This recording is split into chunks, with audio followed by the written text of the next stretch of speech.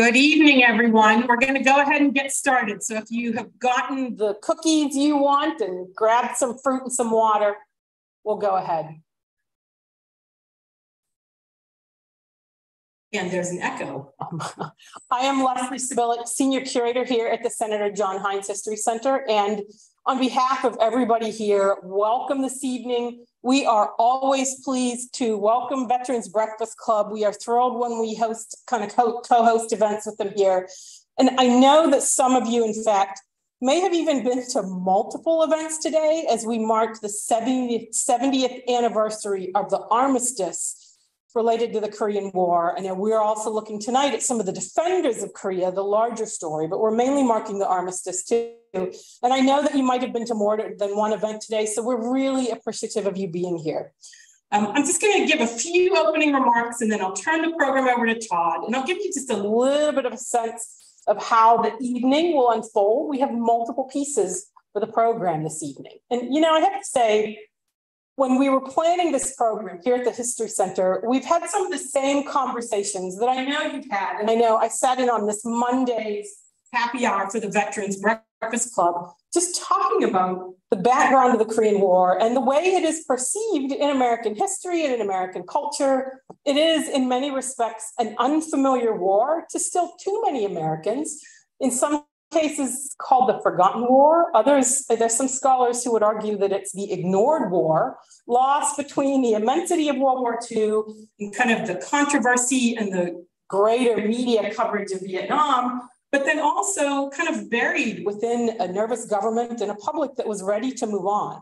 I have to say, in just doing some reading for this, I saw a couple of the references that talk about how even in 1952, in a magazine like US News and World Report, they talked about it as the forgotten war. 1952, it's still going on. I think it was going on right in the middle of it. And I think that really highlights the psychology of the time. And I know you're going to hear a statement tonight. There are some people who would argue that there's another way to look at it, that it's not the forgotten war, but maybe the forgotten victory. Certainly, anybody who's seen what has happened in South Korea over the years sees a very different version of how that played out between the two partitioned parts, the sides of Korea. And so we're also really looking at that this evening. Um, looking at this, both the anniversary marking 70 years, and also saying thank you to those who have been involved with the defense of Korea in the years past that. And I have to say, looking at it from the perspective of a day of ceremonies, the new conversations, and certainly the media right now reminds us that if anybody thought this was over in three years, clearly it is not. Clearly it is not over now. In 2023, there's so much to dig into and so much for us to be appreciative of and say thank you to you, the veterans. Now, this evening, here's how it's going to work. I'm going to call Todd over to the podium, and he is going to talk a little bit about the background of the war and give a little bit of the historical perspective on it.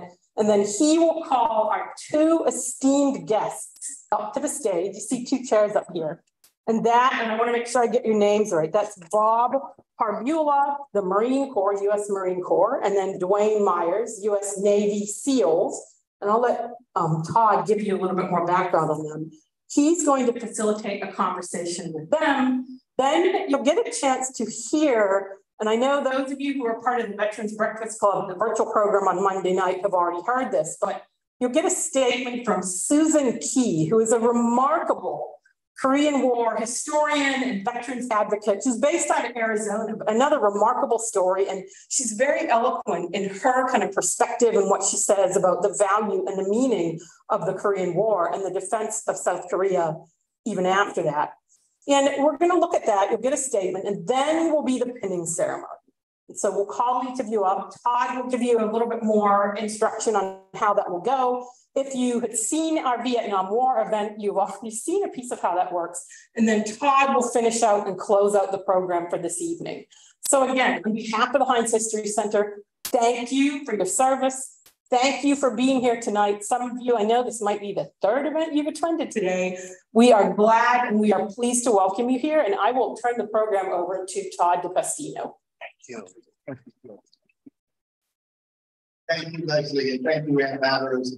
Thank you to everybody at the Heinz History Center. It is always so great to partner with this amazing institution on an important day like this. Oh, thanks to all of you too for coming out and remembering the Forgotten War. Uh, it's wonderful to partner with the Heinz History Center on an important historic date. 70 years ago today, the Korean War ended.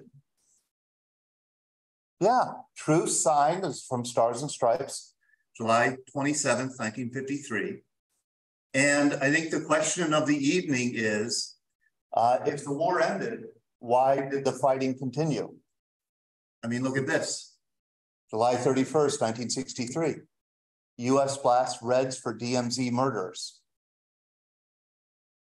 August 12, 1967, North Koreans kill three GIs. January 12, 1967, North Koreans kill three GIs. 83 men, that would be the USS Pueblo. That happened right January 12, 1967. 1960. North Koreans killed three GIs. Really traumatic. That happened right January 12, 1967. 1960. North Koreans killed three GIs.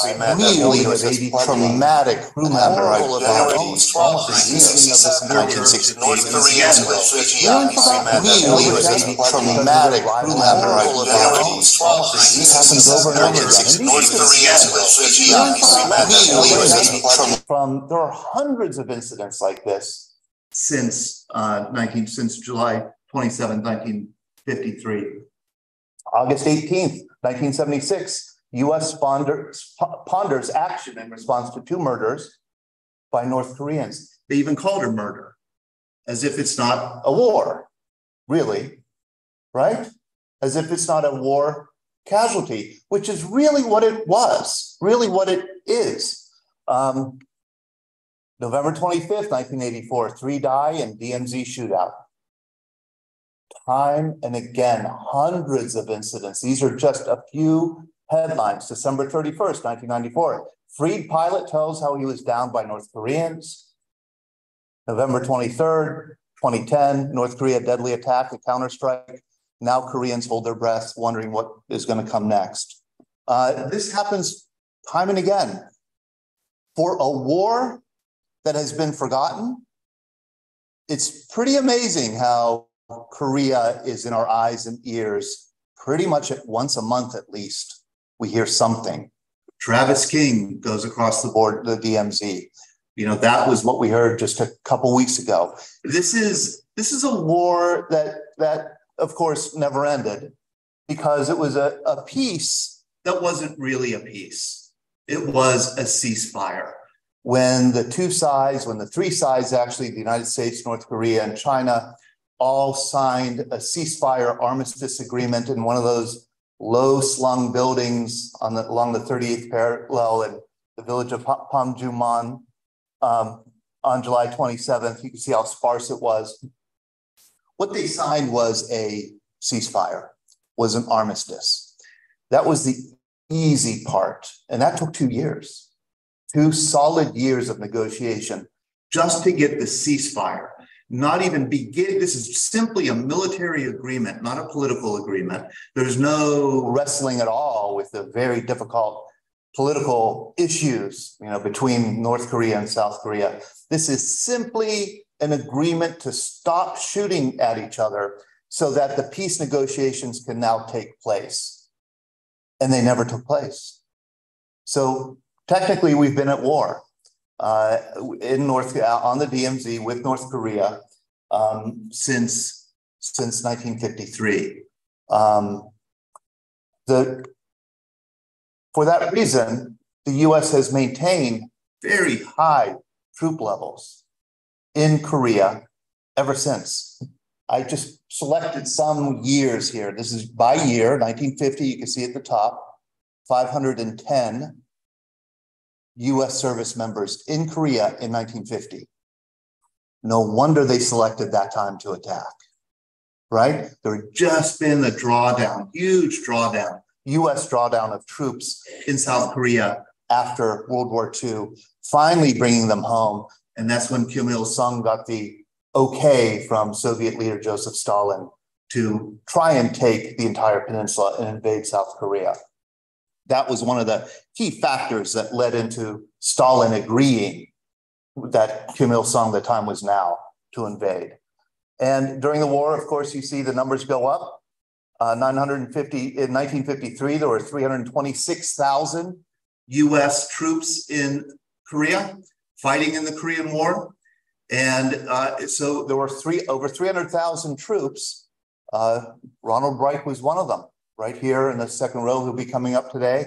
He was there on July 27th, 1953, when the word came down that the, the war was over, the fighting was going to stop.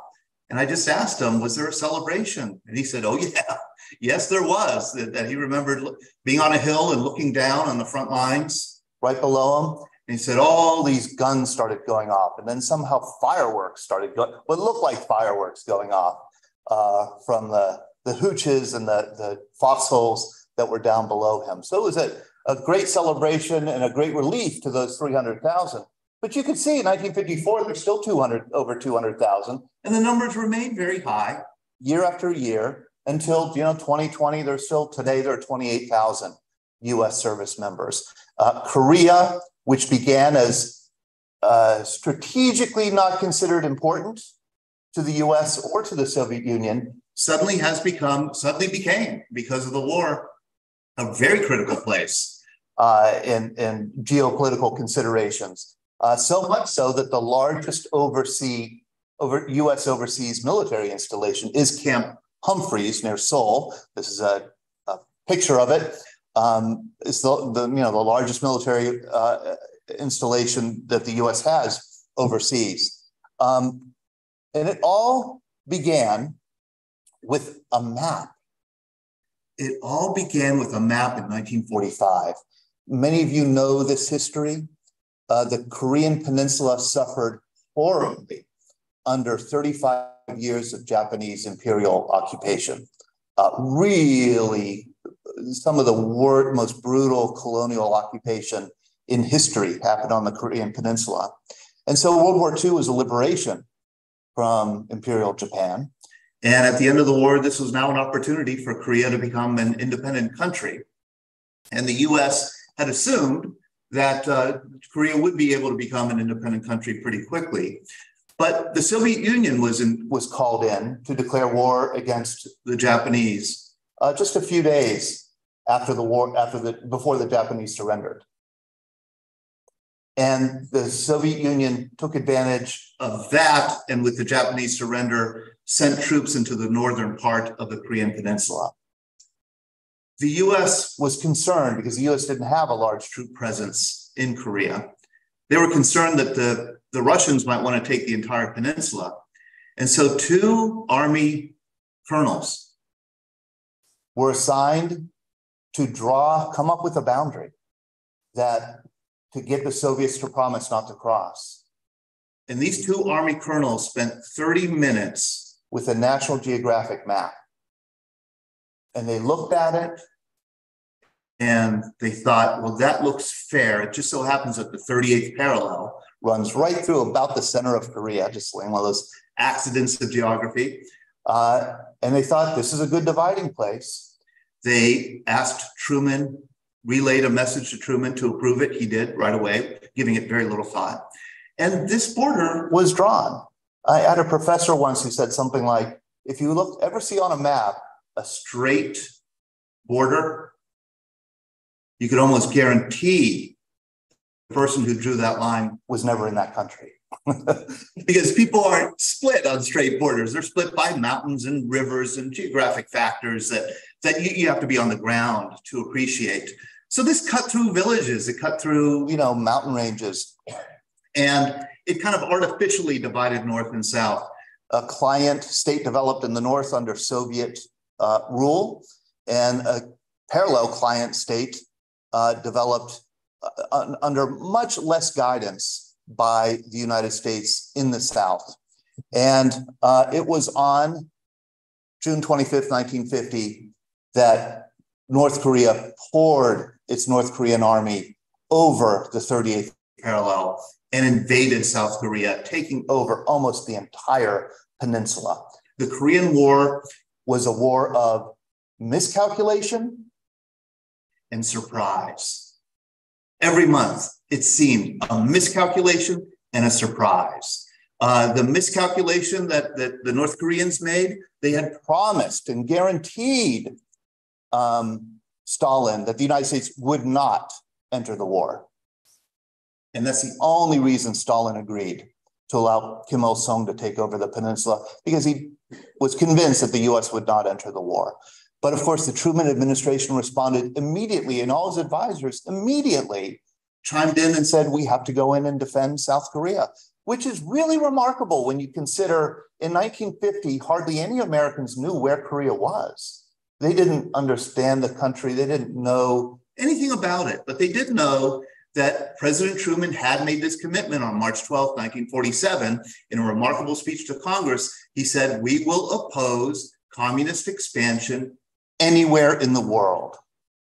That is quite a big promise. And this was a big test as to whether that pro- he was going to stand behind that promise. So he was able to uh, get this a defense of South Korea, able to get the United Nations behind it, and with UN, with 14 nations sending troops in support of South Korea, 14 nations sending troops.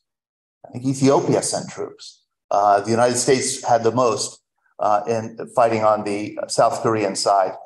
Uh, the those UN forces were able to fight back the North Korean army, all push them all the way back. You can see this wonderful animated map that when the war starts, the North Korean People's Army is just so powerful. It sweeps through to the bottom of the peninsula and takes all over almost the entire peninsula, except for a little perimeter in the bottom right, you'll see that's called the Pusan perimeter, right there. And that was what was the US started with to fight back this North Korean army. And uh, General MacArthur, his masterstroke, of course, was to land 80,000 Marines at Incheon on September 15th, 1950, to cut the North Korean supply lines. Worked beautifully, perfectly, forcing uh, the North Korean army to retreat from Pusan back up to North Korea. And then the fateful decision was made to then, I think it was September 30th, to cross for UN forces to cross north into North Korea and take the fight to the north. This was controversial. It was an iffy call, but they made the call. And they made the call with the assumption that, with the assurance that China would not get, get into the war. In other words, it was a certainty that the US was going to be able to push the North Korean army, you know, up to the Yalu River, and that the Allied forces would be able to take the entire peninsula, liberate the entire peninsula. And they started to do it. And until the next month, when the great surprise happened. Uh, China, the People's Republic of China, which had just had a communist revolution in 1949, sent 300,000 Chinese troops across the border into contact. Most of them even had weapons and into fighting uh, people like Bob Harbula, who was in uh, North Korea, or yeah, North Korea at the time. And this changed the calculus of the war. And it pushed the Allied forces back down over the 38th parallel until a bigger commitment could be made. We had to pour more troops into Korea to even the score, even the sides and then in April 1951, so this is not even a full year, all this back and forth, this seesaw war happens in a matter of months. It's April 1951 when there's a stalemate emerges at the 38th parallel. And this is where the two sides stand off. They dig in, they create defensive positions, that deter the other side from offensive operations, and you have a classic stalemate. And that's when about when the peace talks begin, and the peace talks take two years. And while the two years of talking is being done, Americans are dying, uh, North Koreans are dying, South Koreans are dying, and Chinese are dying in this war right along the 38th parallel. In the end, this is a, an extremely brutal war with very high casualties. Considering how small the country is, how limited really the heavy fighting was, it's remarkable how many casualties there were. I mean, we're talking 5 million people killed in the entire war. Uh, about 36,000 of them are American service members, and uh, over 100,000 American service members wounded. And so that's what we're commemorating uh, tonight this war, this forgotten war that Americans really, even at the time, Leslie, I thought that was so interesting. Uh, even at the time during the war, uh, Americans weren't paying much, they were paying attention right up to early 1951. And then it's like, you know, when you're watching a football game and your team is winning and then they start losing and you realize they're going to lose, you turn off the TV. It's like Americans turned off the TV. They stopped following it. And we've had Korean War veterans come to our Veterans Breakfast Club and say that they remember coming home from Korea, combat Korea in 1952, 1953. And people would say, Where you been? And it'd say, Korea. And an answer was, That's still going on people weren't following it. It's so fascinating that it was even a forgotten war at the time. Um, so we want to kind of remember the forgotten war and, uh, and especially remember those who served in the hottest part, 1950 to 1953, but also all the defenders who have served since, because it has remained hot ever since. Some 3 million Americans have served in Korea, 3 million since 1953. And we have a lot of them in the room tonight, and we want to honor them and have them have a little bit of their story shared. Uh, but we'd also like to focus on uh, those who fought during the hottest of the hot years. And I'm going to call up uh, Marine Bob Harbula. Leslie, you called Bob, you called Bob and Duane distinguished guests. And Bob, you had a look on your face like that's the first time I've ever been called that. Thank you, Bob Harbula. Uh, Bob is the cover story of our VBC magazine. Uh, if you don't get VBC magazine, we send it out to about uh, 8,500 households. You can have a seat, Bob, if you'd like.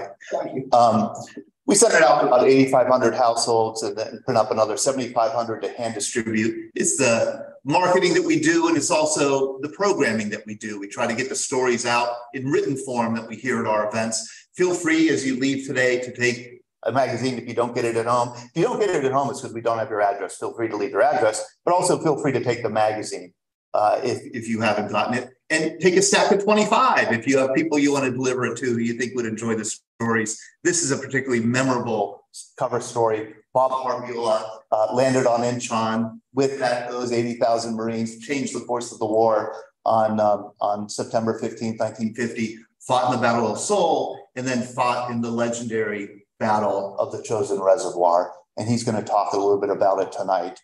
And then we have Duane Myers. Duane, would you mind coming up, please? Duane, I met Duane. I'm going to hear some of his story for the first time, at least what he's able to talk, tell about it. See what we could get out of him. I met Duane here in April at uh, Mosquito Bowl Talk. And I immediately gravitated to him because I there was a there was something about him that caught my eye. And it was that hat, the USS Tusk, the submarine. And then he had a purple heart on the hat. And I thought, how in the world does somebody in a submarine get a purple heart? And I started asking him about it. And he said, hmm, that's a story. Interesting. and it's a great story. And I want him to share what he could share about it tonight. But I do want to let you know that before Duane starts sharing his story, I think this is emblematic of the war also. You know, everything in with World War II, just about everything has been declassified. His as a historian, I like that because that means that uh, you know all the records are available to us. That's not the case with the Korean War there are still 70 plus years later classified elements of the Korean War that can't be disclosed because the enemy is still there and we're still at war. And so uh, Duane very much respects that classification. And so there are parts of his story that he will not share. But uh, but we'll we'll see what we could see what we could get out of them. Um, and I do want to thank also people who are watching this remotely at home. I know there are quite a few viewers around the country and in Pittsburgh who are watching this program. And I, and I know a lot of it has to do with they want to hear Bob and Duane talk. So let me, Bob, can I start with you? Um, I'm going to show a picture. That's a great picture of you, Bob. Uh, when was that taken and why is your hair so? I don't know why he isn't in Hollywood. Yeah. Why isn't he in Hollywood? That's a good. You could play like Audie Murphy and To Hell and Back. Exactly. Was that taken when you were in eighth and I? Okay. Could you tell people what eighth and I was? Eighth and I is in DC, about two blocks from the Capitol. And it's a square block. And in, in the center of it is a parade ground. And this is where the commandant of the Marine Corps lives and we're there to guard the president on special details, like when he goes to Camp David or Shangri-La, that it was called then. Uh, we go up and check out the bridges and we guard the perimeter up at the top of Vermont Mountain where Camp David is. And uh, we have other duties besides that, uh, any special uh, detail like uh, burials at Arlington, we buried most of the Second World War uh, casualties, the ones that were killed. We'd have burials for them out at uh, Arlington Cemetery. And uh, the other thing was one of the other uh, details we had was John Wayne made the movie Sands of Iwo Jima. And we were picked to go down and be ushers and guide the congressmen and their families to seats and this is when I changed. When I was down at the Warner Theater in DC, watching John Wayne six times in three days. And I come on the way back, I told my buddy, I said, I need a war. And just two, three months later, the Korean War starts. And they put up a, a bulletin. They wanted 10 men from 8th and I to go to California and form a Raider battalion. And if you did that, you got 10 days special leave to take your stuff home and fly out to San Diego. And uh, when we got there, well, in that 10 day period, things really got bad in Korea. They were pushed down to the Pusan perimeter. Uh, MacArthur wanted a division now. And Todd, I hate to tell you this, but we only had 20,000. 20,000? That's all we had in Korea ever, one division. And, um, but we didn't have a division. We were guarding all the embassies. We went from 700,000 men in World War II down to 70,000. And we guarded all the uh, seaports, all the uh, uh, embassies, and uh, we we had like two two regiments with two battalions, and usually a regiment has three but three battalions and uh, three regiments. So we we were in bad shape at that time. But anyhow, we went out there, and well, when I got to Camp Pendleton, I said, "There's a lot of familiar faces out here." I was talking to the other guy that lived in Pittsburgh, and they were from Eighth and I. And then we find out that they took everybody out of eighth and I. They were down to bare minimums at all the posts in, in the United States to make that division for, for uh, MacArthur landing um, at Incheon. And we learned oh, what we did out there. We didn't practice any warfare. We went up and got the weapons, the machine guns, and that out of um, uh, the, the depot. They were all covered with cosmoline. And all we had doing up there was picking them up and cleaning them off. And cosmoline is a very ugly material. It's hard to get off, but you got to get it all off the machine gun or it'll heat up. And uh, the other times we had there, we'd be in full packs walking up and down the mountains of Camp Pendleton. And I said, when are we going to get some fighting? know, when we're gonna learn how to fight. Well, we never did learn any fighting there. They put us on the ship, took 13 days to get to Japan. We went to Camp Otsu, which was a uh, Japanese Marine camp during the war. And again, we were walking up and down the mountains there, full packs, and no no practice. And that turned out to be the best thing that could happen because the worst thing for a serviceman to go into battle is to not be in shape. You're no good if you can't keep up. And when those bullets start flying, you want to be your men, you want to be able to keep up. If they drop out, you, that's the same as being killed because he is, they're no help to you on the front lines. So this we found out later why we did all that marching and carrying this stuff up and down the hills. But on the ship, we learned how to uh, uh, fire the machine gun and we learned how to take it apart. Uh, that put us in a, black, a dark room and the machine gun would be all laying all over the floor and you had to go and put it together.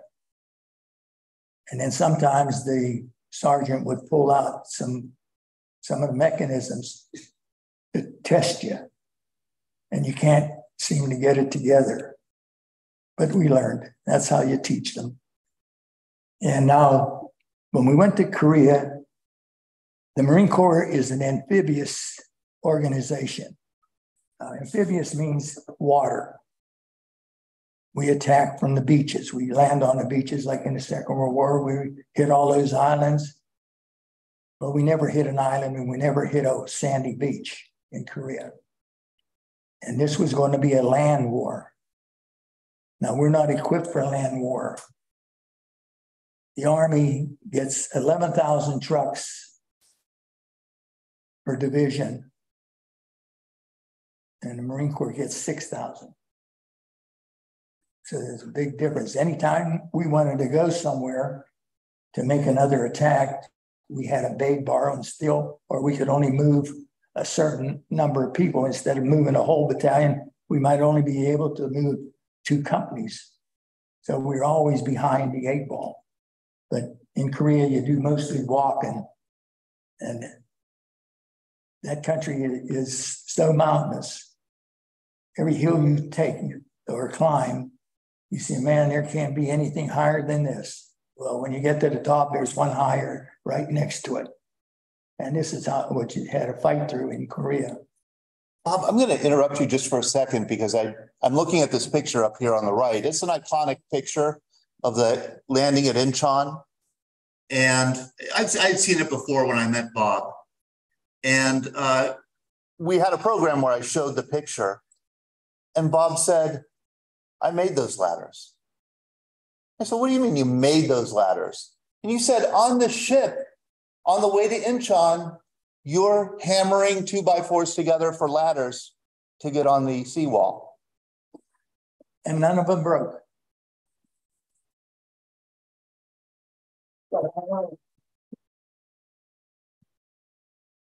that was a really important lesson for a non-veteran like me to to understand uh, you know overcome adapt and overcome uh, that serving the military requires a lot of different skills and you have to just make do with what you have. They knew there was going to be a seawall. They didn't have ladders so you marines were making them this is where you saw your first combat action. Yeah. Yeah uh, we're going up the sea la- the ladders and the uh, one of the linemen, uh, Corporal Barnes, who was the first one up top, and he's up there cutting the ball wire on the fence, and a bullet ricochets and hits him in the neck. And I was the next one on the ladder, and I'm watching him as he turns colors and dies. And it wasn't like the John Wayne movie that I saw. It just put a different feeling into you. Well, when we're going down to Incheon on the amtracs, uh, one of my buddies said, uh, the guy he lived in uh, Chester, West Virginia, he was another machine gunner. He said, This is just like being in the movies. and we're in it. And you see the planes coming over your head, shooting, strafing, ahead of you, all the cannons going off. And war is so noisy. Just gonna fix your, there, there we go. There we go. All right, Everybody hear me all right? Yep. good. So as I was saying before, the, the difference in Korea for the Marines was this was a land war. So we had to pretend we were soldiers like the, the army, but they have all the equipment and all the food and they're eating steaks and we're eating C rations. They took good care of us over there. But in World War II, the first Marine Division that we were in got three pucks in the whole war. How many of you don't know what a puck is? They don't know what a puck is. Hockey puck, they're thinking, Bob. Okay, puck is the Presidential Unit Citation. And you'll remember these battles that I mentioned. The, the three that they got was for Guadalcanal, Peleliu, and Okinawa in the entire war. In Korea, we got three pucks in seven months. Now, what, if, what do you get that for? Hey, Bob, I'm showing the ribbons up there. Do you want to, time to talk about that? All right, the middle one is the puck. This is the presidential unit citation in the middle. Oh, yeah, it, Like that? Going up? No, yeah, the middle one is the puck, President's unit Citation. And on it, it has two stars. That means that counts for three. Right, the ribbon and then two stars for the other two. The other one is combat action ribbon.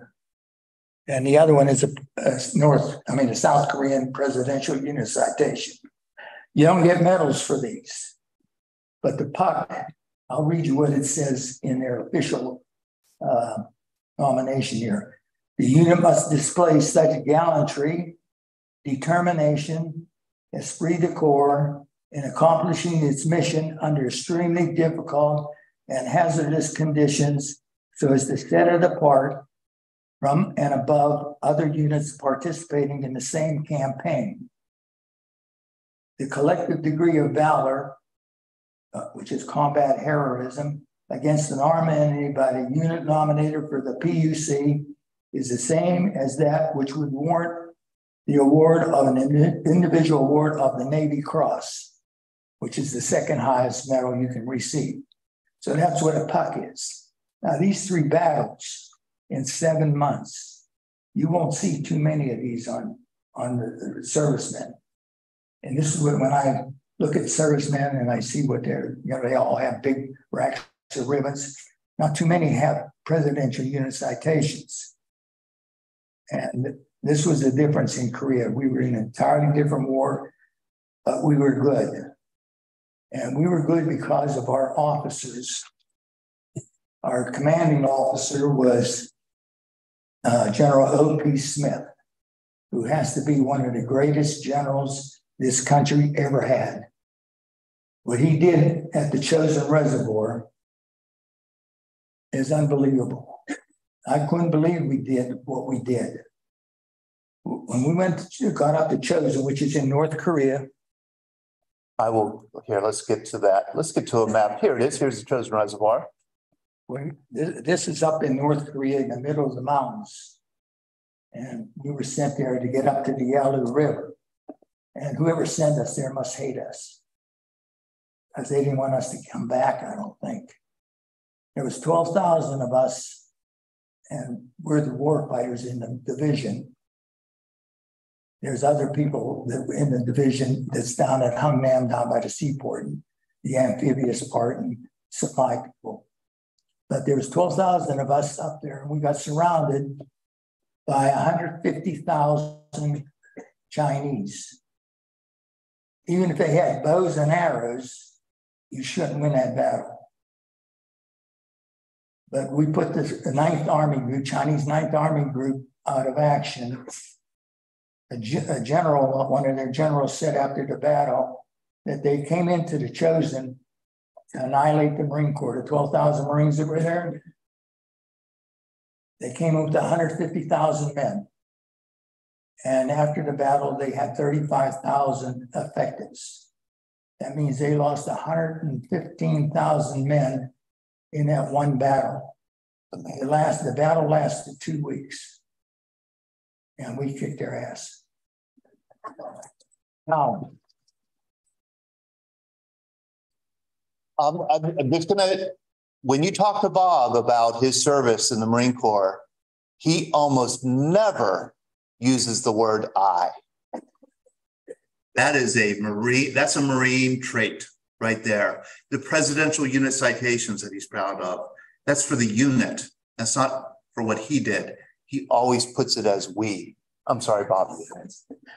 Getting back, now there, the Ninth Army Group was put out of action um, with 115,000 casualties when we left North Korea. And that's another story how we got out. But um, I was talking about the officers we had.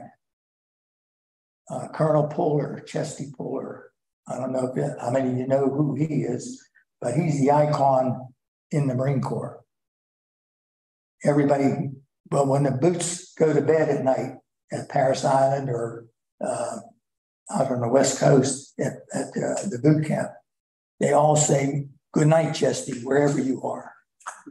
That's part of their requirement to be a boot. And then we had General, well, Colonel Murray, Ray Murray. He was commander of the 5th Marines. And Blitzen Litzenberg was commander of the 7th Marines. And these were three of the finest officers out of World War II and they didn't waste lives. We got we came out of there.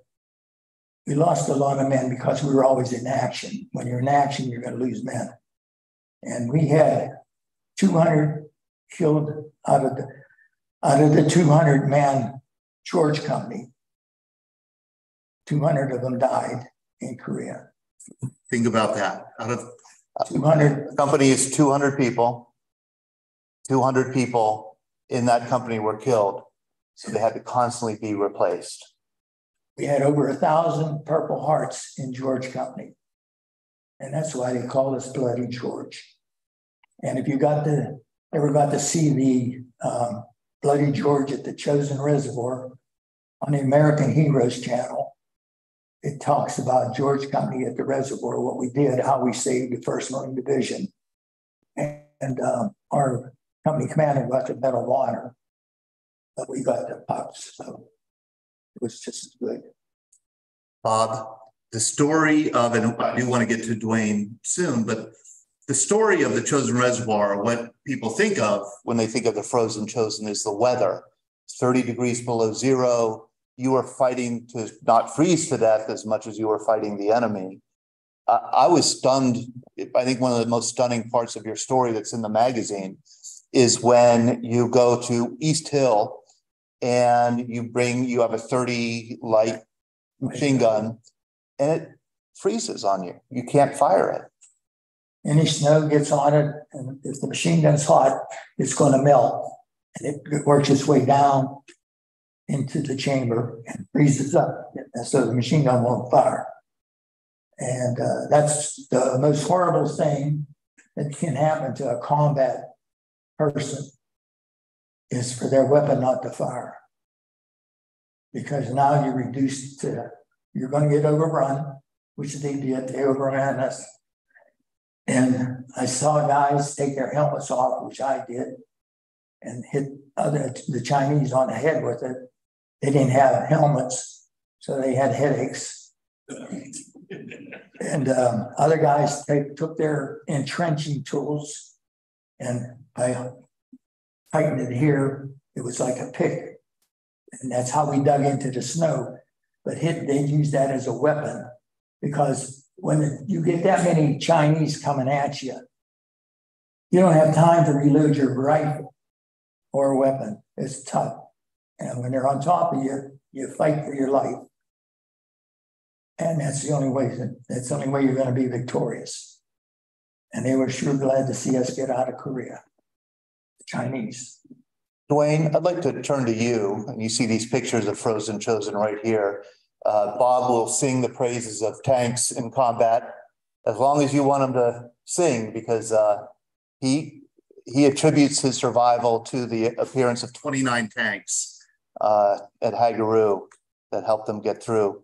Um, Duane, this is you as a young sailor. What made you want to join the Navy? Did you hear, Duane? Uh, He asked you a question. What made you want to join the Navy, Duane? What do I want to do? What made you want to join the Navy? I wanted to get a college education. Oh, okay. That's why you joined? Did, did you like the Navy? Pardon? Did you like the Navy? Parts of it. Food. Good food. Good food. What was your first job in the Navy? I was uh, on the midway first. After I came out of uh, high school, I joined up. I went to sub school. Then I went to uh, UDT, underwater demolition. Right. Why did you go to sub school, submarine school? Eighty percent more pay. There you go. Honest man, 80% more pay. Um, did you like submarines? Loved it. Did you really? You loved it?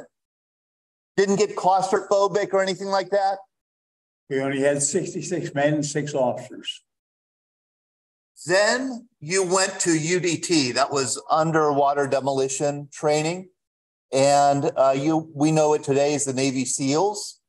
The Navy, the forerunner of the Navy SEALs were these underwater demolition teams that began in 1942 and fought mostly in the Pacific. Uh, it was still very much a, a very young sub branch of the Navy that did training in Florida, Fort Pierce, and in Coronado, California. Uh, it, they were renowned. Wayne, you might correct me on this, but anybody who wanted to join the UDT, and they were called frogmen, had to be very fit and a little bit crazy, I think. Right? I mean, you're, it's so it's even the training is dangerous. What was the training like at Coronado? Well, we was only eighteen years old and we figured we could leak the world ourselves. And tried to do it. And then you joined the Navy in 1948, and then the Korean War broke out in 1950. When did you enter the war? Uh, April of fifty. Just about the time it started. They sent me back to Coronado to update on all the new explosives and equipment. And then we went to Russia. I didn't tell you that before. No, you didn't. A lot of our missions are in that book that Jim has here, Blind Man's Bluff. That's a wonder. It's a wonderful book. I highly recommend it. I know several people in the room have read it. Blind Man's Bluff. It's really about the underwater uh, subterfuge uh, of the Cold War, right? Uh, uh, uh, submarine warfare um, in the Cold War. And you're in that. You're in that book. We'd swim into shore up in Russia, particularly around Murmansk Bay, Russia, where they kept their subs. And sometimes we jumped out of a uh, uh, glider, usually five to seven of us on a mission. And we jump over either the jungle, the ice, or the water. And uh, we were supposed to sneak in, sneak out, and nobody knew we was around. And we weren't armed like the Marines. Uh, we had everybody carried at least four diving knives. For what? Diving knives. Oh, diving knives. Actually, they were the M3s, the M1s. And they were razor sharp. Whenever we had nothing to do, we sharpened them up. So you always kept them sharp. And uh, then uh, we uh, we lost Cochino up in the North Sea. That was our sister ship. So your ship, your submarine was the USS Tusk. And uh, we lost seven maroon men trying to save their crew. And that was the USS Cochino, and that was another submarine, a sister ship? Cochino. They went down nine hundred and some feet. But we got everybody off except seven that we lost, and they lost one. And after that, then they uh, gave us some R and R. Then we went to uh, Seoul. And then uh, North Korea. Almost all of our missions was in North Korea. Your missions were in North Korea. Is this photo here of the, of your UDT team? Yeah, that's. That's me right over here. That's you up there, DVM, Wayne V. Myers, right? There's a hundred that started uh, training and 30 31 finished. And you were one of the thirty-one. Yeah. But you could quit anytime you wanted to, and it never went on your record. All you had to do is take the baseball bat, hit a gong, take them over, pick you up, take you ashore. And that was it. Wow. How interesting. Here's a picture of some frogmen. I don't know if this is training or, or actual operation. Yep. Uh, is this kind of like what the, what you would wear on some of these missions?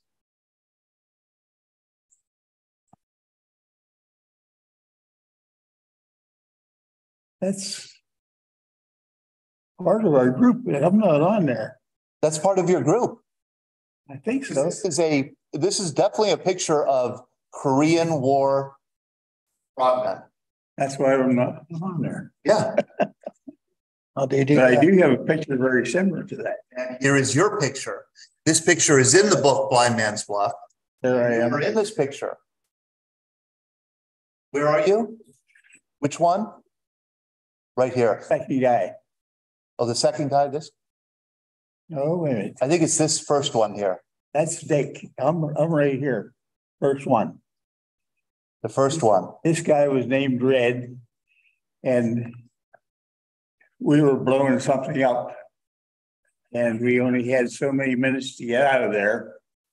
And when he hit that plunger, he shoved that raft off. Look at that plunger. Right there. I, I didn't see it before, but yeah, he has his hand on a plunger there about to blow something up. This is North Korea?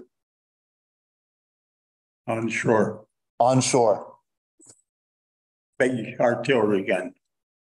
Used to be there. You blew it up. Wayne, were you ever scared?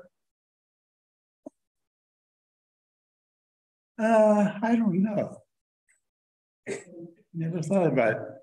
But I mean, like, him, he was young. And uh, when we was told to do something, we did it.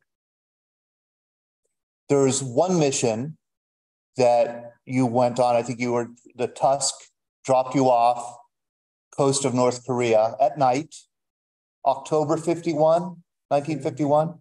It was a dark, a dark we headed ashore. And what was your mission? What were you to do? Can't tell you, Can you give us a hint? but it was up. We was up around Panmunjom. You were up around Panmunjom, okay, where the negotiations were taking place. This would be October 1951. Now there's a big bay there. The sub went in, and then we took off, swam about a mile to get ashore. We stayed in there for five days. Living Five off the days. land- land. Living off the land. What did you eat? You want to hear? Yeah, Snakes? Uh, fish and worms? If you take a seashell or your knife, you cut a nice fish and worm in half, take your fingernails, push that black stuff out, they're good. Better if they're cooked. better if they're cooked. The one thing it is as good is a seagull. A seagull, Yeah. Kind of gamey. Bitter. Okay, my stomach's churning a little, but um. So, so you live off the land, you're, you're there for five days, October nineteen fifty-one. You can't quite tell us what the mission was, but it was on the DMZ in the thirty-eighth parallel, Panmunjom area. And you get detected, right? Uh, what? You, that, you encounter some North Korean, Yeah. North Koreans. And what happens? Well, we finished that mission, went on about four or five more. Till uh, we had one that was around one saw, one, one sang or, yeah, Wonsan. Oh, yeah.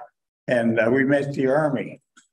The army was coming up and we went in this way and we both went that way. And the North Korean guerrillas met us over here. And uh, we left, well, we had to leave with them. Then we come back. And uh, that was all around first week of October. And when I got my Purple Heart here, is the only time that was ever mentioned. So I can say what the some uh, accommodation was that I was leading my men back to the, the boat, which is a sub. A ship is on the surface, sub is a boat.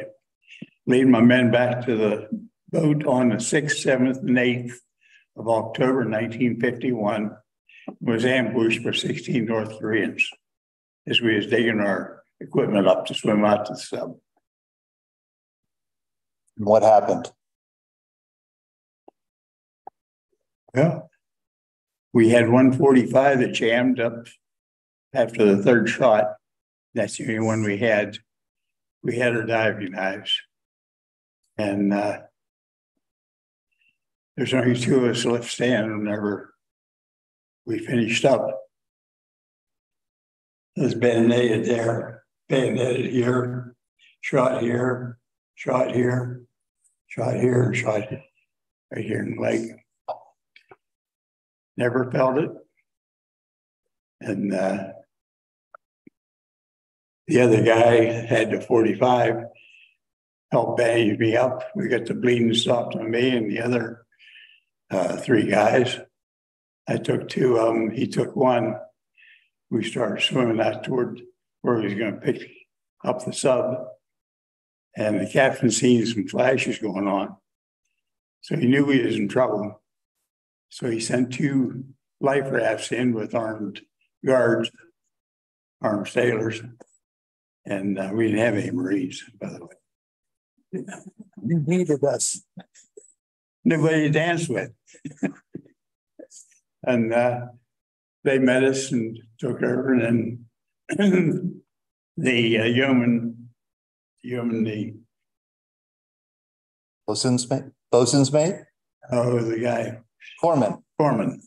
The Corpsman passed us up and sewed us up a little better. Next day we went about 20 mile out to sea and then got picked up by a helicopter and taken to hospital ship. And uh, that was the end of the story. I never told my mother, never told my dad, never told my wife or my kids till two years ago. And I didn't tell them everything yet. But we were, before we were discharged, for 10 days, 10 hours, five days a week before we discharged, we were brainwashed and swore never to talk about stuff we did. And I know why, but can't tell you why. What a what an honor it is to just hear a little bit of your story. Well, Remarkable. I, It's remarkable, but I don't know how you go through life with a wife, with parents, with children, and not tell them anything. my wife says, You're all scarred up. Where do you get the- those scars? I said, I was raised on a farm. You know what the barbed wire does to you?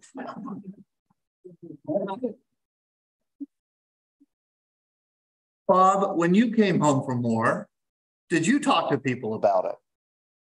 There was nobody there. Left. All my buddies, all my buddies were in college or married. And I had to find new friends when I got home. They were all gone.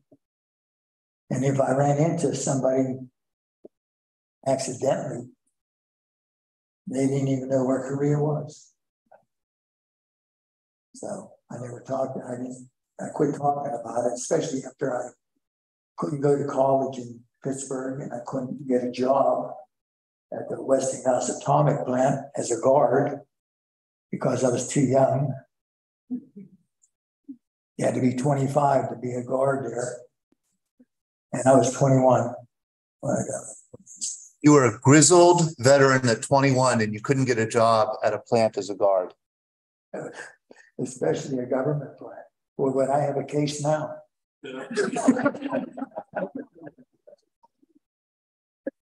I want to, oh, I want to thank both Bob and Duane for sharing a little of their stories here. Let's give them a round of applause.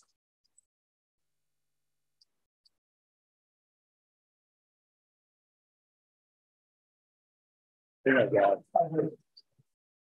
When I get this Purple Heart. I was commander of an Armed Forces Veterans Association, which has approximately forty people in uniforms. We do sometimes two military funerals a week, Right, even down to Arlington right? or uh, Allegheny National Cemetery, and Jim's our drummer. And uh, I was commander of this, and I, I've been trying to get out of it for about five years. Finally got somebody to take it over. And he told me, uh, we're having a meeting. I'd like for you to put your uniform on. He said, we got the new officers, they're gonna put their new uniform on, and I want a picture. Okay. So I put it on, almost everybody showed up, including him. And uh, uh, all of a sudden, the guy walks in with a cake about that long, that wide, that thick. And I didn't know what it was. It was a, a cardboard box. And I thought, you know what? They're going to pull something on me. This is my first meeting after I retired. They've got a cake for me. And uh, then pretty soon our state representative come in. He's carrying a little blue envelope, and a lot of you guys know what those are. You get them for almost anything you do in the military. Everybody has a half a dozen head under his arm. So, falling right down my line, I'm gonna get a citation from the state. Okay. And uh, so the president conducted the meeting and he said, uh, uh, the state representative, do you have anything to say? He says, I do. He said, we're doing this in the state, we're doing that, we'd like to do this. Oh, by the way, Duane Myers, will you come up here? Had it all figured out. I went up, and he says, uh, you get a hold of this envelope here. And it's about eight, two pieces of eight by 11. I had one side and he had the other. He says, hold it so the, the guys can see it. I did. And I seen these guys looking like that instead of just something like they had. And I thought, hmm. I looked down. It was Purple Heart. And uh, I my family had slipped in, and my daughter was taking pictures behind everybody that I never saw any of the family because the representative had turned me to my back toward them. And the first two pictures, I had my daughter erase them. my eyes was ready to pop out. Because you were, yeah, And the uh, so emotional. the uh, cake had a big purple heart, almost a foot round, beautiful. If I see you in uh, November, I'll bring a picture of it.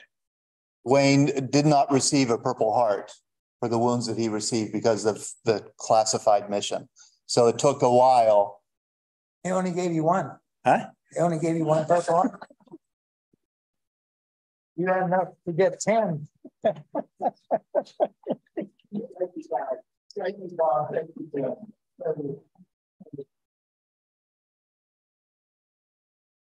He's younger and I am. Iggy stepped down. Yeah, you need him. I'll help I'm you. Going down that way. You're going down that. Yeah. Why would he?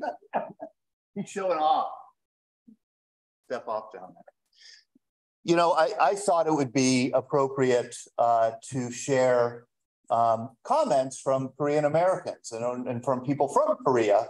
Because it's from Susan Key, who's pictured here, that I, I think I got a new perspective on the Korean War. She, she's a historian. As Leslie said, she lives in Arizona. She's a veterans advocate for sure. And more than that, she has kind of made it her mission, I'd say, for the past 10 years, really devoted her life to honoring Americans who have served in Korea. She's from Korea originally. And she, after moving here and living here for a while, I think it dawned on her that Americans have a misconception of the Korean War. She said, like, you people think you lost it. You lost the war, or that it was somehow an unsuccessful war. She said, from our perspective, you saved us. It was, it was a great victory for us. I mean, we would not enjoy the freedoms and the prosperity, you know, that we do now and the future that we have uh, without the sacrifices of so many Americans who traveled halfway around the world to a place they never heard of, you know, t- to save us. And she said, "We, I, I want to kind of devote myself to." To kind of changing Americans' minds about that. So I asked her if she would send us, because she's in Arizona and very busy today. I asked her if she would send us a video that would express some of her sentiments. And I thought I'd play it for us now. It takes about five minutes. Her sentiments. And I thought I'd play it for us now. It takes about five minutes. Her Hi, my name is Susan And I Key. thought I'm a I'd play it Korean War historian and Takes writer about five minutes. and advocate of Korean War veterans and families For of fallen sentiments. heroes. Susan And I Key. I would I'd like to first thank us Todd now. DePastino of the Veterans Breakfast. Club and advocate of Korean War veterans to share my families of message fallen of heroes. Susan Key. I would like to first thank for Todd us. DePastino of the Veterans Breakfast. Club and advocate for Korean War veterans and share my message of Korean War veterans. I would like to first thank Todd DePastino of the Veterans Breakfast Club and advocate for Korean War veterans and share my message of Korean War veterans. I would like to first thank Todd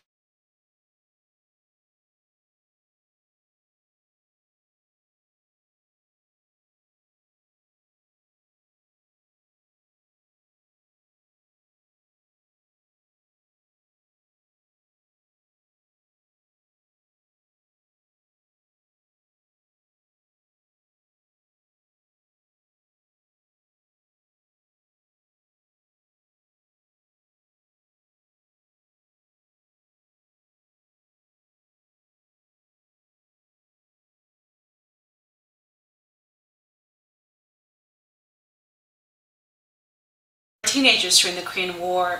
My mom was living in Seoul, South Korea, uh, and she was about 11 years old when the Korean War started. Teenagers during the Korean Uh, War. my dad my mom was 18 living years in Seoul, South and his family had uh, just fled she was from about North 11 years Korea old when the Korean War started. Teenagers during the Korean Uh, War. his dad, my mom was was 18 living in Seoul, South Korea. his His family had just fled fled from about 11 years old when the Korean War started. Teenagers during the Korean his War. family had dad, my mom was was living in Seoul, years old.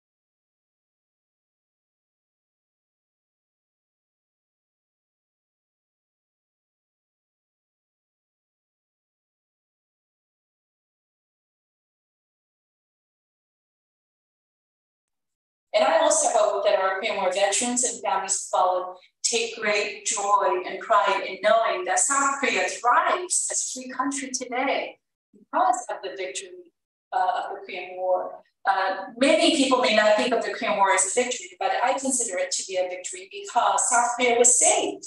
It was saved from communist tyranny.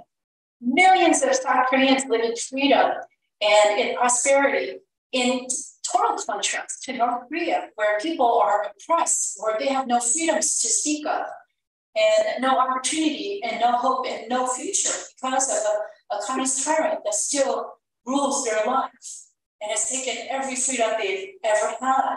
So, in contrast to that, South Korean people are blessed. Uh, we are blessed, we are so grateful, and we're so thankful for the freedoms we have been given because of your sacrifice. So, on behalf of the Korean people, I just want to express my heartfelt gratitude to our Korean War veterans and to families of fallen, and also to our Korea defense veterans. Uh, there have been over 3 million American servicemen and women who have defended Korea since the armistice agreement to the present day. And so South Korea continues to be defended by Americans, uh, joined together with South Korean forces. And the alliance between South Korea and uh, the United States of America continues to be one of the strongest alliances in the world.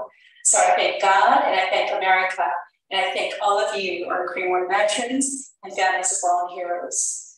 I will always be grateful to you, and I will always honor and um, do everything I can to preserve your legacy. May God bless you, and may God bless the United States of America. 감사합니다.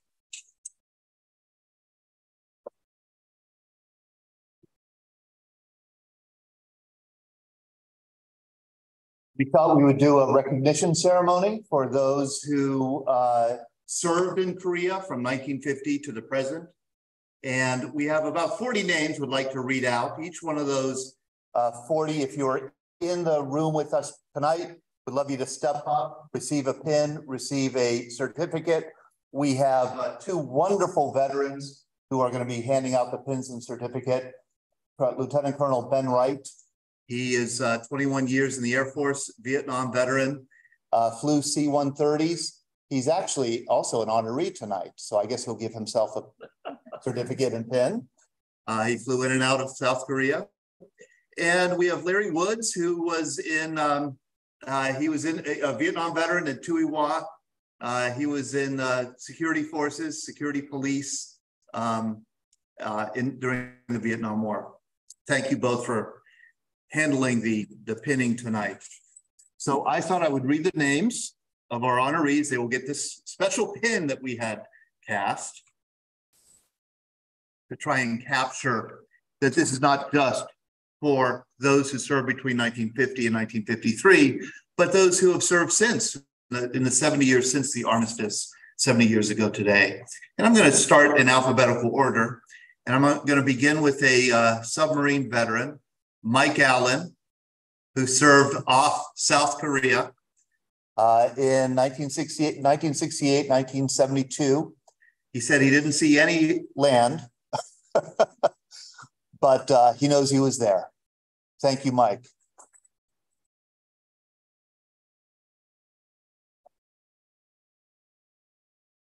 And you know, Mike has the distinction also of having served in the Army as well as the Navy.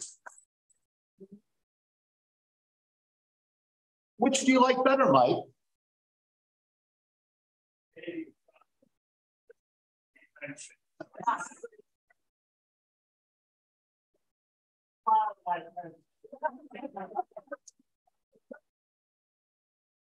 Uh, we also Sheila Berg. She's watching online. She's from Allentown, and she's really a remarkable veteran. Thirty years in the Air Force.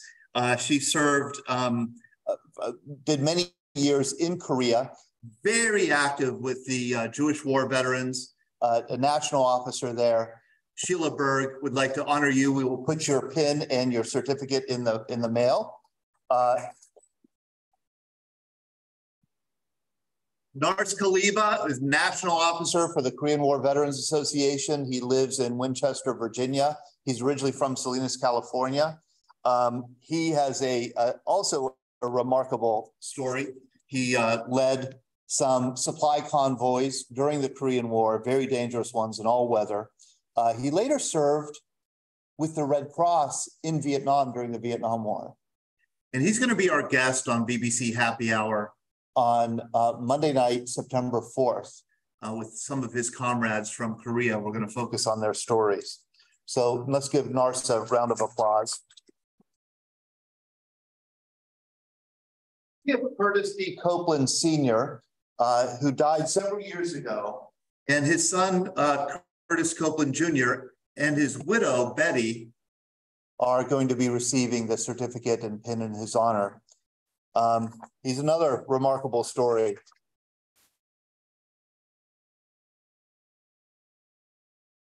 He uh, joined the Navy, was a pharmacist mate, third class.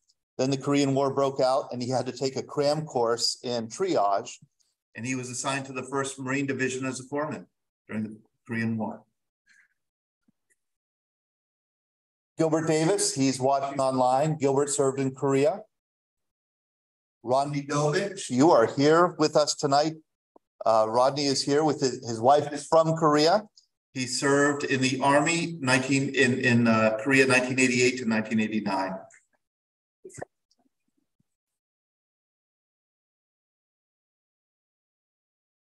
Janet Driggers is here with us. The first time I got to meet her tonight, she was served in the Air Force, was in Korea May 2000 to May 2001.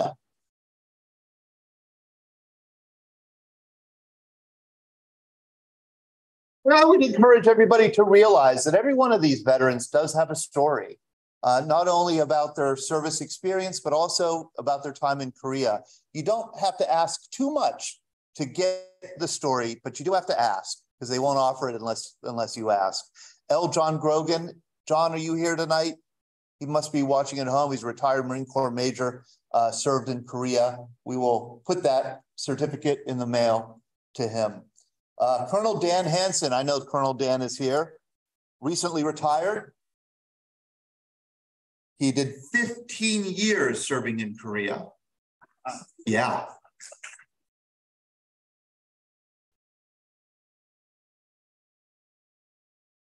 His final position in Korea was as U.S. Defense Attaché to the Republic of Korea at the U.S. Embassy. That's pretty impressive. Bob Harbula. There we go.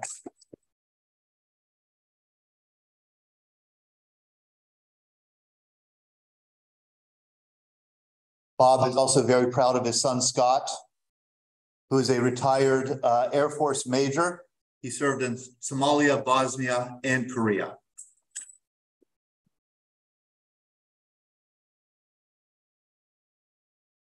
Oh, Patrick Hughes. Patrick Hughes is, an, is a Vietnam veteran, Army veteran who lives in Texas. He joins us every Monday night on VBC Happy Hour. Uh, he's been joining us for years, and it's so interesting that so many people join us every Monday night.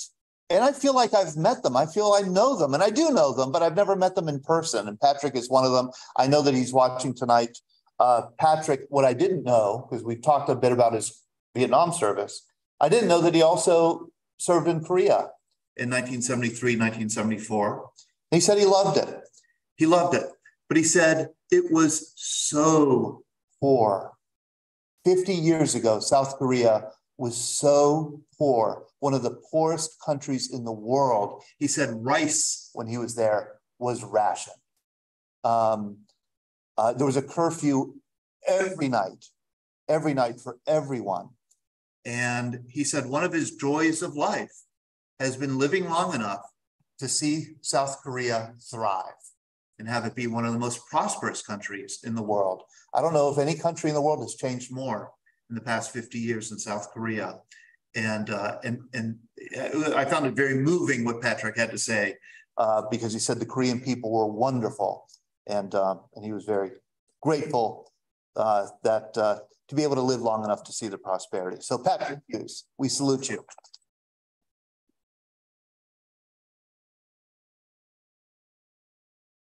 Leroy Jeffries uh, Jr., uh, his daughter Brenda lives in Ohio.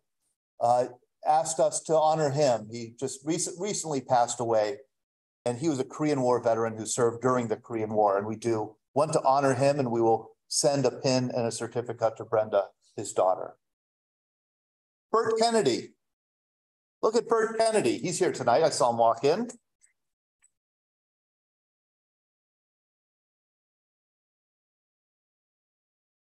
Is a very active defender of Korea, very active veteran, uh, officer in the uh, Korean War Veterans Association. He served with the Army in the 7th, attached to the 7th Division, 1959, 1960. And get a load of what he did. He was, uh, his job was being on a team to float these weather balloons in Korea for artillery. And to get the balloon in the air, they had a gas generator.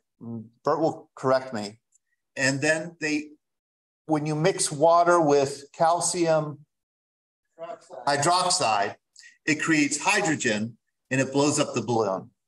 And uh, that's what you did for uh, the art for Army artillery. Demonstration every day we use the bottle.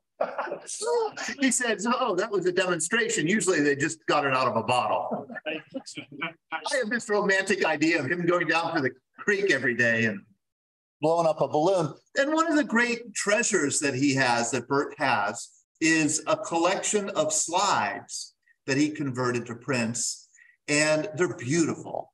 Talk about capturing like a moment in time. This is South Korea, 1960, when Bert was there. These are one of his many, many photos that gives you a sense of the, the villages uh, at the time. Larry Kennard, I know that he was a is was a national officer for the uh, the Korean War Veterans Association. He served in the Third Infantry Division. I also know he's joining us online. Uh, he served in the. He's from Texas, lives in Texas. He served with the Third Infantry Division as a forward observer with I Company, 15th Regiment. Uh, I also know Susan Key did a wonderful interview with Larry. I encourage you to watch it. You could find it online very easily, uh, where he shares his story. Larry Kennard. John Kramer. John, are you here with us tonight?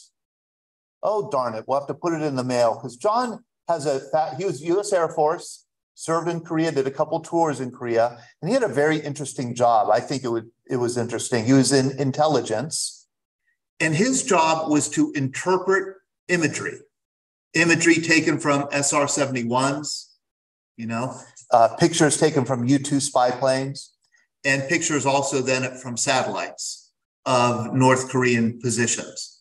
And his job was to interpret the photographs and figure out what was in it and what should be done, if anything, to counter what was discovered. He said it was a fascinating job, and uh, and he was, I'm sure, very good at it. Um, John Kramer, we salute you.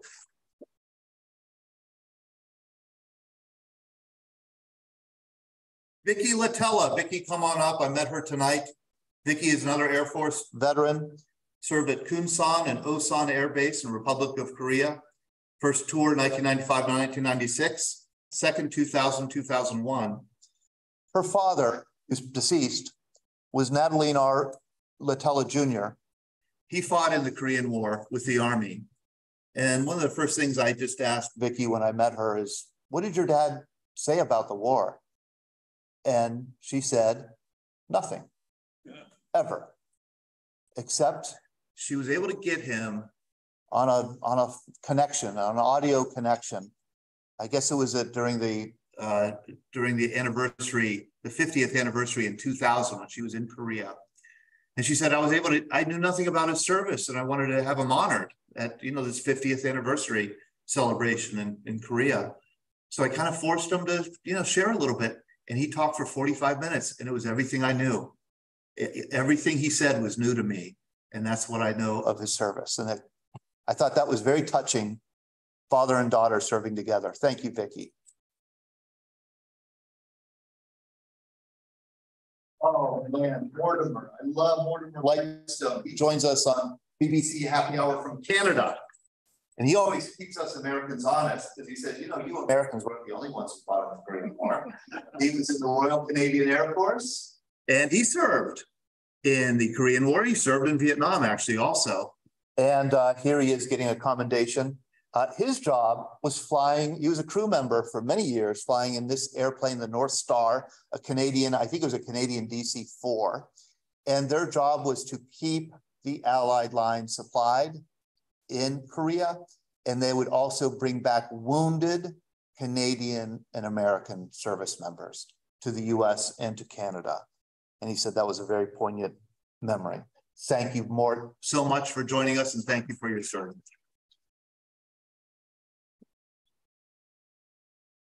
We have Ed McDonald with us tonight. Edward McDonald. Ed, would you mind coming up, please?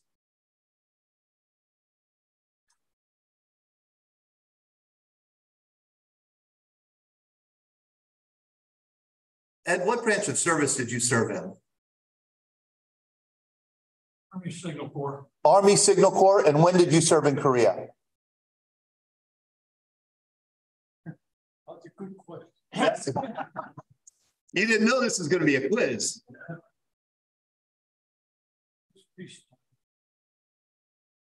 was the telephone man. You were the telephone man in Korea. Nothing as dramatic as some of the other books here. Oh, gotta have a phone. You Gotta have a telephone. Thank you, Ed.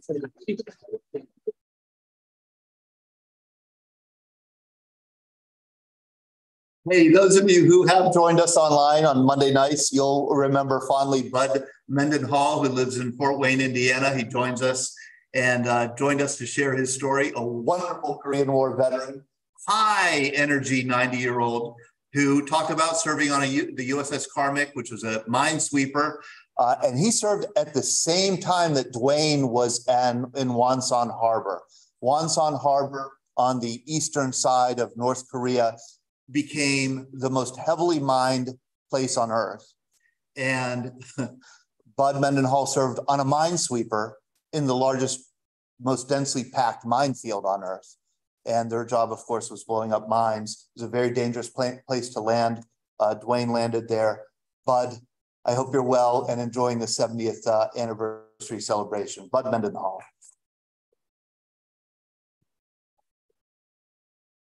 Leland Miller, I met you yesterday at our Veterans Breakfast Club event at Christchurch Grove Farm in Sewickley. Uh, Leland served in the Army during the Korean War, and his brother also, older brother, also served at the same time. Yes, the 45th Infantry Division, 45th Oklahoma Division, Infantry Division served in uh, Korea.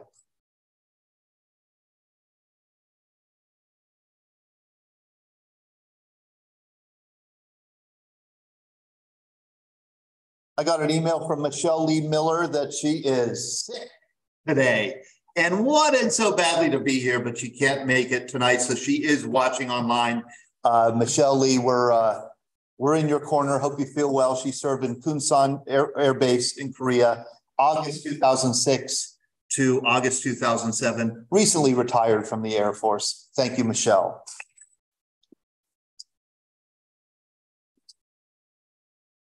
Look at this young man in his uniform, Duane Myers. This is, uh, I believe this might have been when you received your Purple Heart, but I'm not sure.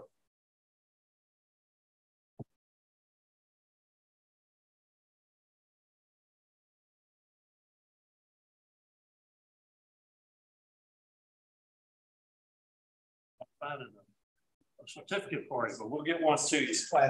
Oh, it's Sorry. Yeah, we would give you a certificate, but it's classified and we can't.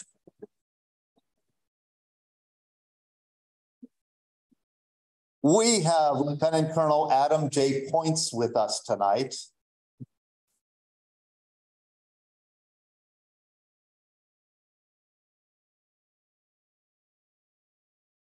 Last week, I saw him at our event at the Grist House in Millvale. And I saw his name and I said, man, this guy looks familiar and his name sounds familiar, but I just can't quite place him. And he came up to me and he said, I met you in Hanoi in 2020. And I said, Oh my God, yes, that's it. That's it. That's where I met you. He was the commander of a uh, of the POW MIA accounting agency detachment in Hanoi, doing very important work. And he's pictured here doing that work with his Vietnamese counterpart, uh, working hard to account for the MIA of uh, you know classifying remains, finding remains, identifying remains. That was a big part of his job and such an important job. He's recently retired. I'm telling your life story here. I mean, re recently retired and at least temporarily relocated to Pittsburgh. We hope he stays. Thank you, Colonel.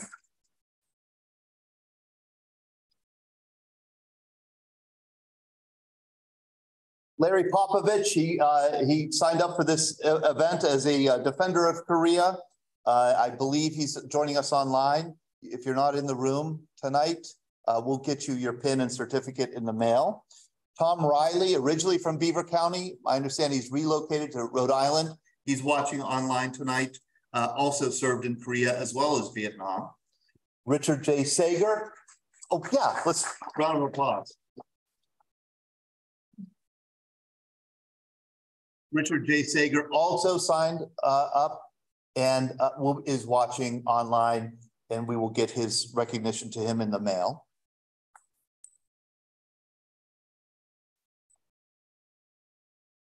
Look at this young man, Frank Santucci. Frank, what happened?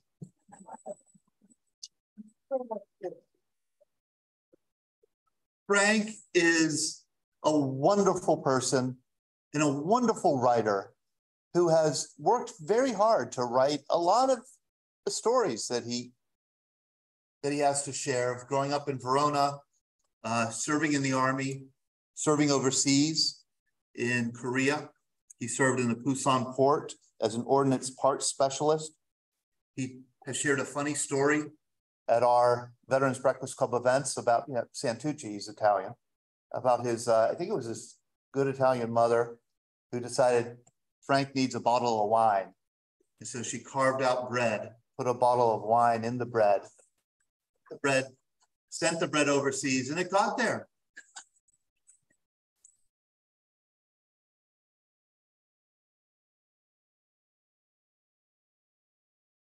Look at this is Frank as a kid wearing knickers.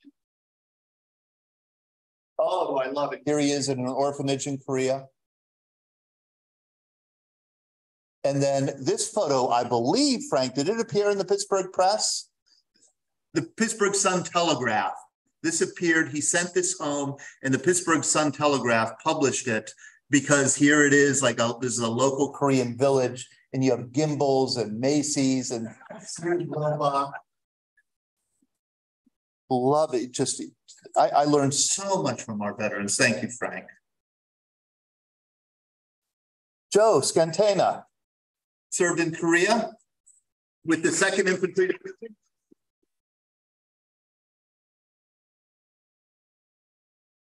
Joe served in, in Korea 1966, 1967, the Indian Head Division, the Second, uh, Second Infantry Division. And then the Army saw fit to send him to Vietnam after that. Volunteered. You volunteered?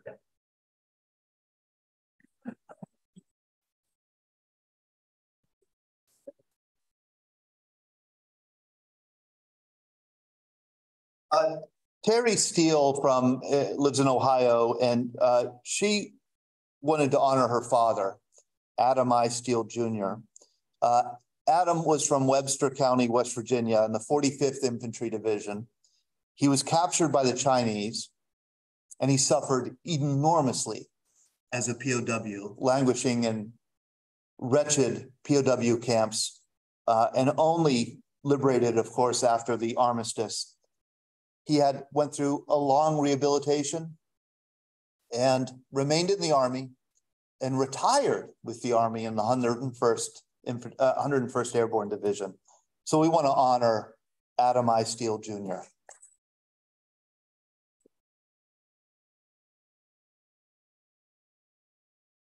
Thomas R. Smith is here with his very large family. Uh, Tom is another one of these wonderful Korean War veterans who has taught me so much about the war and about those who fought in it.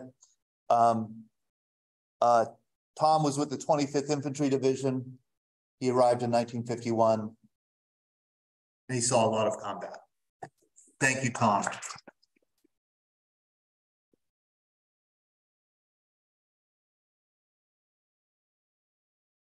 He's also the proud father of three sons who served in the army, two of whom are here tonight.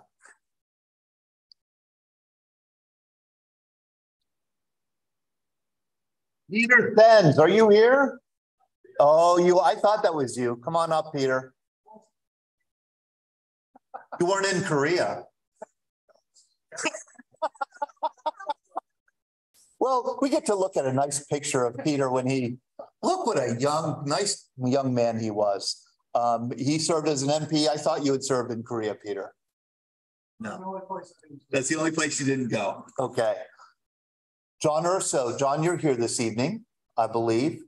John, come on up.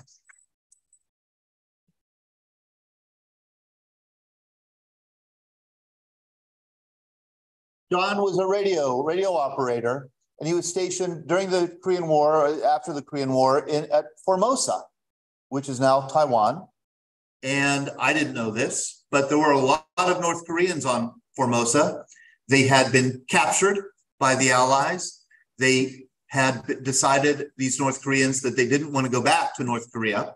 And so, for their own safety, they were taken to Formosa, where they were then, you know, patriated, repatriated elsewhere. Uh, I know it was a hard year that you spent in Formosa, uh, two years in Formosa.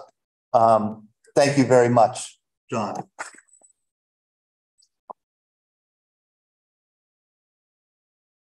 Another person with movie star looks is Carmen Vaca.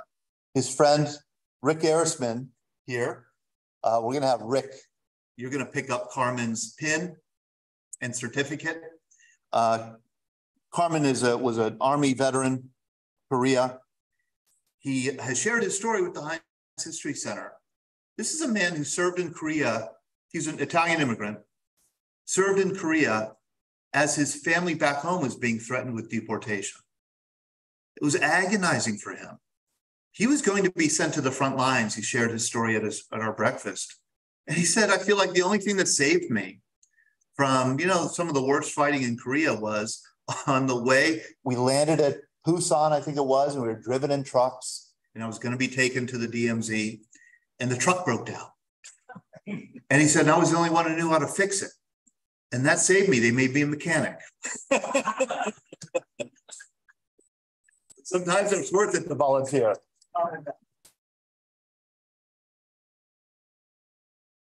Rock's Vanguard served in Korea for 13 months, 1967, 1968. I know he's watching online. Rocks, thank you for your service.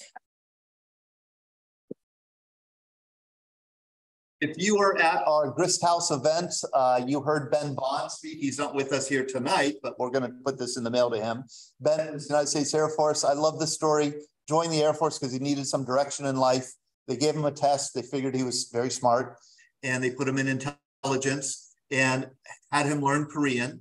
And he was shipped to Korea to the DMZ, listening to North Korean radio traffic, radio communications, translating it by hand in a little notebook. Out of the Air Force, did a career with the CIA. Ben Vaughn, what a story.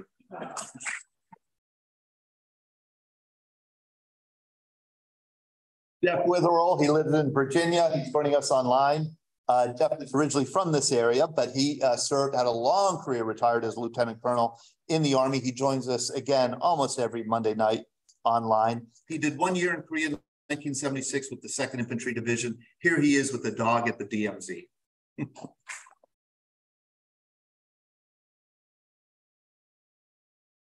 Our very own Ben Wright is here. Ben, he flew C-130s in the 1970s in and out of South Korea.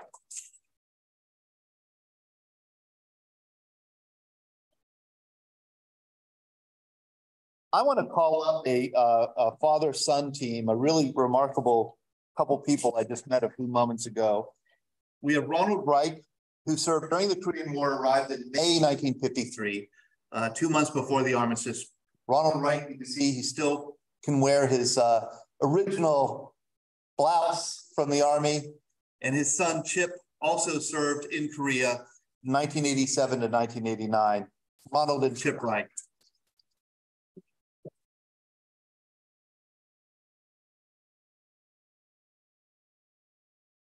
Ron Eason? Is Ron Eason here? Ron, did you serve in Korea? Okay. Okay, I got it. I got to know. Somebody wrote your name down on a piece of paper. um, then we're going to end with a, a wonderful Korean War veteran, John Yates, another movie star looks guy. Look at that.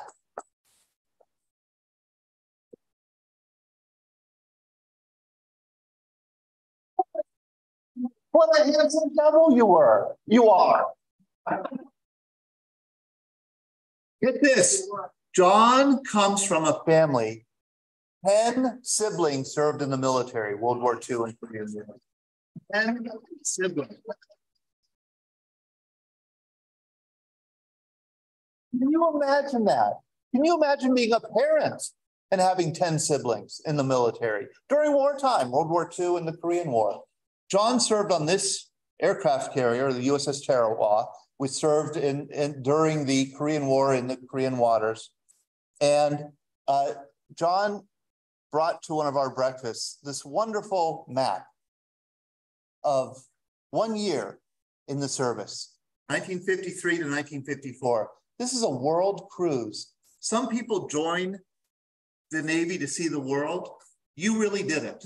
You did it. John Yates.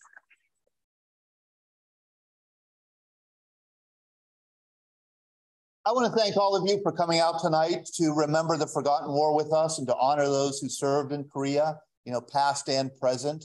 Uh, it's been, it's always educational. It's always inspirational for people like me who haven't served.